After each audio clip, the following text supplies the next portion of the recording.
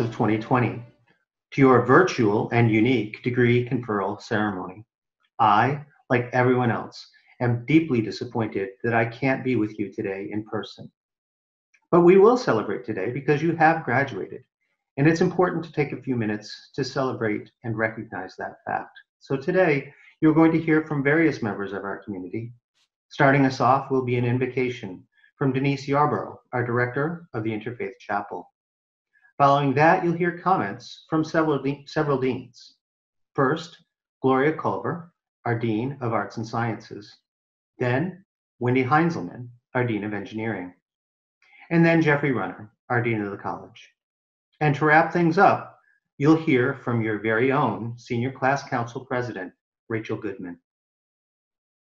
To end things today, I'll come back with a very few brief closing remarks, and then we will do as we always do stand and sing the Genesee. Let us pray.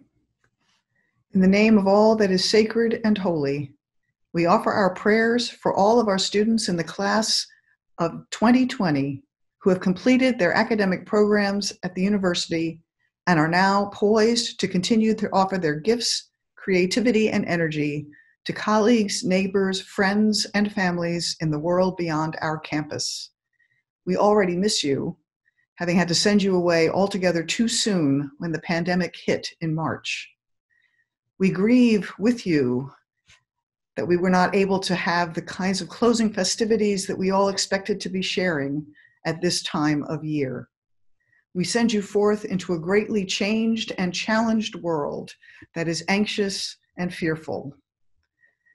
We are confident that you possess the intelligence, the creativity, the flexibility, and the resilience to meet the challenges that lie ahead for you in this radically changed world. We give thanks with you for the families and friends that have nurtured you through your years in college. We join with you in giving thanks for friendships forged at the University of Rochester that will last your lifetime, for wise mentors, for challenging teachers, and for opportunities for personal, academic, spiritual, and professional growth that have stretched you and tested you as you've graced this campus during this phase of your life's journey. We send you forth buoyed by our great hopes and expectations for all you have yet to do. You are bright, you are energetic and creative, you care about the world, and you're prepared to serve in myriad ways here and all around the globe. O Eternal One, imbue these graduates with humility, a good sense of humor, patience, compassion, and a commitment to justice and peace. May their happiness increase as they serve the world. May they dream big dreams. May they nourish the visionary gleam that lies within them, cultivate the art of seeing invisible things, turn their knowledge into wisdom hone their sense of right and wrong, and at the last understand the meaning of their own lives. U of R, class of 2020, may the eternal Spirit bless you and keep you. May the Holy One be gracious to you. May you live expectantly, love courageously, and may you be a blessing to those with whom you will now live and work, as you have been a blessing to this university during your years with us on this campus. Amen. Congratulations to the University of Rochester class of 2020. You made it. This statement in this year feels so different. This is not how you expected your last few months as an undergraduate to unfold. This is not what any of us would have imagined even six months ago. And clearly, this was not on anyone's mind during your convocation in the late summer of 2016. But here we are. And you made it. Somehow that seems like so much more this year. I do so wish we were all gathered on the quad and that we were all in our regalia. I always look forward to the ceremony and the incredible joy of commencement. The joy of yours should not be lessened, although I completely acknowledge that it will be different. These are different times. All of your accomplishments and struggles, late nights, long exams, hard problem sets, and big shows, they are just as significant and impactful as if we were doing this in person. In fact, they may even have a, broad, a bigger impact. The amount of work and the level of accomplishment that you have achieved has really been amplified by what all of us have gone through over these last few weeks. And yes, you did this. You made it. And you had a lot of help.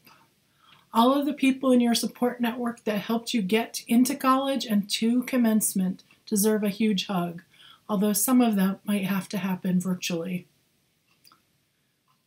I was asked recently what I've learned about the university over the last six or so weeks.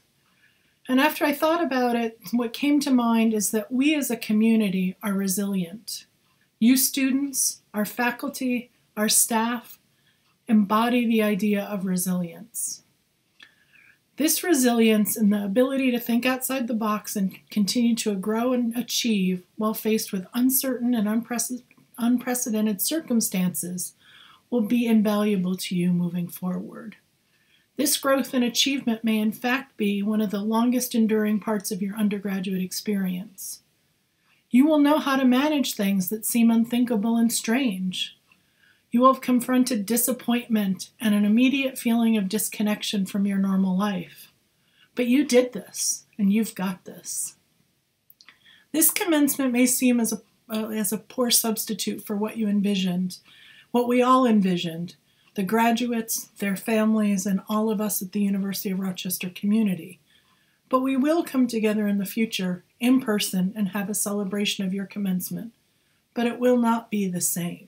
It will be different, as every one of us will also be different after this experience.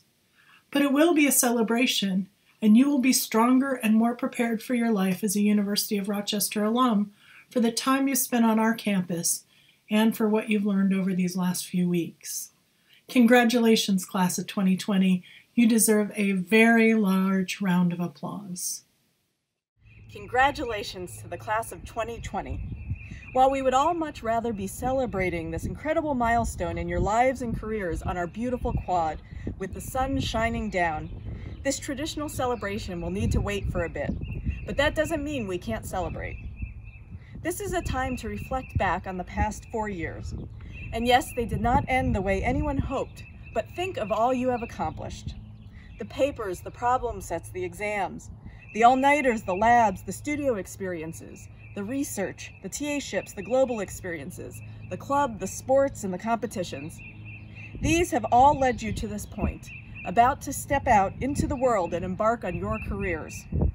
But most of all, Today is a day to think of the people, your family who helped you all along the way from near and far, the faculty and staff who have enjoyed teaching, mentoring, and working with you over the past several years, and of course, the lifelong friends you have made with four years worth of memories, fun times, struggles, and celebrations. This is what your University of Rochester experience is all about. You are as prepared as any class has ever been to go out and make your mark on the world. Think of what you have had to overcome to get where you are right now, and take a moment to relish all that you have accomplished, wherever you are, and know how proud we all are of you. And now it is my pleasure to introduce Jeff Runner, Dean of the College, to present remarks to our extraordinary graduates. This is not how we expected to be celebrating commencement. Me, here in my living room, you, our graduating students, scattered across the globe. But let us not allow the circumstances of this ceremony to diminish your accomplishments. Your time at Rochester has given you an opportunity to explore, to identify passions, and to pursue them with all of your energy. And you have done just that. Your academic pursuits, together with your co-curricular experiences, have expanded your horizons and shaken comfortable assumptions, equipped you with the skills and the confidence for whatever the next phase of your life might bring. Commencement is the formal end of the college years and marks your transition from undergraduate to alum. Rochester alumni share an academic experience often described as analytical, rigorous, and serious. As a student here, you've had the opportunity to work with our world-class faculty throughout the university people who have made enormous contributions in so many disciplines. And you join a group, our alumni, who have made distinctive contributions to many aspects of American life. University presidents, a film critic for the New York Times, an astronaut or two, CEOs of various companies, Secretary of Energy, Nobel laureates, and more. Congratulations, you are joining a true, true alumni family. You, the class of 2020, with your 2020 vision and soon your 2020 hindsight, are a unique class. You're the last class who were freshmen and not first years. You learned under three different university presidents in four years. You had two different deans of the college. You watched the construction of Genesee Hall. Wegmans Hall opened during your first year, as did the upda- updated Douglas Commons with its Feldman Ballroom, Burgett Intercultural Center, Language Center, and new dining facilities. You witnessed the birth of the iZone. All of these changes changed you, but you also changed us. Your mark has been left on this university. We are ever better, thanks in part to you. At commencement, we usually announce award winners of various sorts. I'd like to take a minute to do so now. At a virtual awards ceremony, the annual presentation of the Singer Family Prize for Excellence in Secondary School Teaching was presented to four distinguished teachers that were nominated by four of our graduating seniors. I'd like to take a moment to recognize Paul Singer, an alumnus of the class of 1966, who made this award possible. I'd like to recognize the winners for their outstanding contributions to teaching excellence. The recipient, recipients the, of the Singer Prize this year are the following. Nominated by Tanya Cano, Stephen Cardoso teaches electronics technology at the William M. Davies Jr. Career and Tech High School in Lincoln, Rhode Island. Ryan Hayter nominated his chemistry teacher, Sarah English, from Sweet Home Senior High School in Amherst, New York. Alexis Langheyer, a business teacher at South High School in Williamsville, New York, was nominated by Hannah Duttweiler. And Jonathan Bearden nominated Joanne Smith, who teaches Spanish at Johnstown Senior High School in Johnstown, New York. I want to thank the seniors who nominated their secondary school teachers and congratulate those awarded the 2020 Singer Prize. In order to keep this video from getting too long, I will wrap up. I want to remind you that there will be an opportunity to celebrate commencement in person with those who supported you and cheered you on. I look forward to that future joyful occasion and am optimistic that we'll, able, we'll be able to do so together on the River campus one day soon. Until then, go forth and make the world ever better. We need you, our smart, resilient, globally competent graduates, today more than ever. Have confidence in your abilities, take pride in your accomplishments, knowing that your faculty and all of us who had any role in nurturing your intellectual development are immensely proud of you. Meliora. Welcome, esteemed faculty, family, friends, and of course, the class of 2020. My name is Rachel Goodman, and it is an honor to be here with you today, even if it is virtually, as we celebrate the end of our college experiences and start of our next adventures. Before I begin, I would like to thank the incredible 2020 Class Council, Genesis Galindo, Ara Gonzalez, Akansh Hans, Vanilla Pandara Boyina, Jacob Brzezowski, Brendan Stone, and our advisor Brian McGee for all of their hard work this year. As many students can attest, members of our halls, teams, and organizations often go from being strangers to friends to family. Class Council is no different, and I'm so grateful that I had the opportunity to work with these exceptional individuals and serve as your class president. I would also like to take a moment to thank our loved ones and families. Whether you were near or far, we could not have gotten through college without your support. It's funny, being the compulsive planner I am, I started writing this speech in January before the COVID 19 pandemic turned our world upside down. Believe it or not, I wrote about how our college expectations and experiences probably didn't go as we planned, but how we still made the best of them. We don't all have 2020 vision. So thanks, COVID, for at least being relevant to my graduation speech. Our senior spring definitely did not go the way we anticipated. But despite these unforeseen circumstances, we still found ways to come together and support one another. I am in awe of, but not surprised by, the kindness, unity, and resilience I witnessed across our class. We offered up cars to help students move out of their dorms. We contributed to the student food pantry and basic needs hub. We stayed connected thanks to Zoom classes, Zoom meetings, Zoom concerts, Zoom happy hours, and Zoom birthday parties. A lot of Zoom. And we shared memes, TikToks, and Instagram bingos to escape from our boredom. I know this is not how we pictured our commencement looking. I did not expect to be giving this speech from my dining room table. So let's all take a deep breath, agree that the situation is less than ideal, and reframe our focus. The last two months do not define, nor do they take away from everything we have accomplished before them. We have a lot of reasons to celebrate. Class of 2020, we're graduating. In the fall of 2016, we stood together at the candlelight ceremony on the Eastman Quad, feeling anxious and excited to begin this new chapter of our lives. We started to imagine what the next few years would look like, who our friends would be, what clubs we would join, where we might study abroad. The opportunities seemed endless. Our first year was one of change, learning, and growth. After orientation, we were faced with the reality that college was actually about school. We found our favorite study spots, learned the feeling of accomplishment when our rub work turned green, made our first frantic phone call from that bench outside of PRR, and maybe even pulled our first all-nighter. Some followed their interest that brought them to the U of R, while others realized that maybe pre-med wasn't for them and discovered new subjects and passions. We got lost in the tunnels, saw our first pink sunset over the Genesee, and learned that snow days do not exist at the U of R. And we took risks like trying out for a team, joining a new club, or going to the dining hall alone. But over time, the U of R became a place where we could not only grow, but we could thrive. We all did this in our own ways.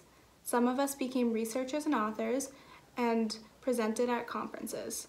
Others represented the Yellow Jackets in athletics and brought home national titles. Artists sang, danced, and performed in ways that highlighted their creativity. Many took on responsibilities as RAs, TAs, and student employees and supported campus life. And while some explored new cultures abroad, others found a passion for community engagement and gave back to the city of Rochester. As we grew, the campus community grew with us. We watched the construction of Genesee Hall and struggled to accept that the Bee Quad rivalry was now the first year Hill Quad rivalry. Quad Fox made his first appearance, and while we were confused exactly where he came from, we didn't question it and enjoyed his quirky presence. This past fall, we welcomed President Mangelsdorf to the U of R family and we're excited about new beginnings. Our class also initiated change to continue this campus growth. We were never afraid to speak up and address problems that faced our community. We protested when we saw injustice, stood as allies to show solidarity, and engaged in dialogue to discuss solutions. We sought to create a community where everyone felt supported and accepted, and I truly think we are leaving this campus better than we found it. It would be impossible for me to reflect everyone's time at the U of R in one speech. We each have a unique story to tell. However, I think we can all agree that nobody's college experience went exactly as expected. But without these experiences, we would not have become the resilient individuals we are today. And while our anticipated paths may have changed, the end goal did not. We are all graduating from the University of Rochester. So, congratulations, class of 2020. I am so grateful that I had the opportunity to share this incredible journey with you and wish you the best of luck in whatever your next adventure may be. Continue to stay safe, healthy, and connected. I look forward to a time in the future when we can all return to campus, walk under the clock tower, and celebrate this accomplishment together at our beloved college home beside the Genesee. Thank you and Meliora. Well, that brings us to the end of today's degree conferral ceremony. I'd like to thank Denise Yarbrough, Director of the Interfaith Chapel, for her invocation. And I'd also like to thank Deans Culver, Heinzelman, and Runner for their remarks. And finally, I very much appreciate hearing the thoughts and words from your senior class council president, Rachel Goodman. We'll end today as we always do. And so, wherever you are, across the country, across the world, or right down the street, Let's stand now and sing our alma mater, the Genesee. Thank you. Oh, many fair and famous streams beneath the sun there be, yet more to us than any seems our own dear Genesee. We love thy banks and stately falls, for to us.